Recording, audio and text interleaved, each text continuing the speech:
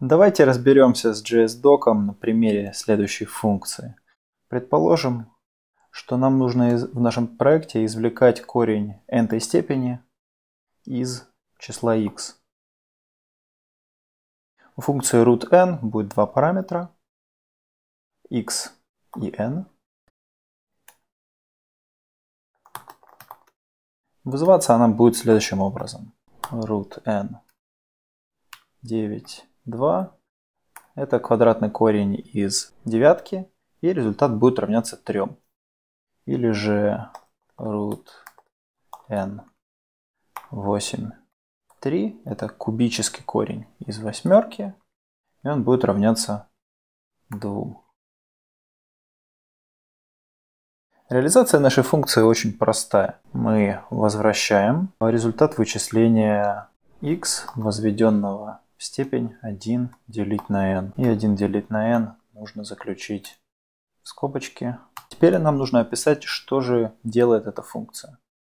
И обычно программист будет использовать такой комментарий однострочный или вот такой многострочный, пишет, что она вычисляет корень n степени из числа x и будет этим удовлетворен.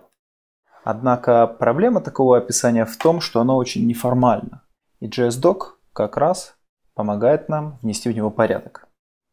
Джезокские комментарии пишутся так же, как и обычные многострочные комментарии, но с дополнительной звездочкой в начале. Каждый раз, когда мы переносим строку, мы тоже вставляем звездочку. JSDoc удобен тем, что мы можем описывать параметры функций и их возвращаемые значения. Это делается с помощью аннотаций, которые начинаются со значка собаки. В нашем примере мы используем аннотацию param, собака param, для того, чтобы описать значения x и n. Сделаем заготовку. Также мы используем аннотацию return, для того, чтобы описать, что же функция возвращает. А общее описание функции мы поместим в начало. В параметре x мы ожидаем число, тип здесь будет number. Тип пишется в фигурных скобочках сразу же после аннотации парам. После типа мы пишем название параметра x, а затем текстовое описание. Число, из которого берется корень. Аналогично поступаем с параметром n.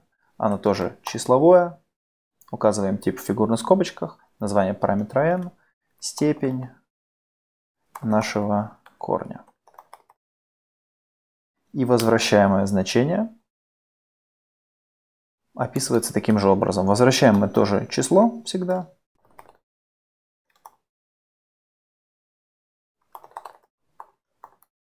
Степени из x.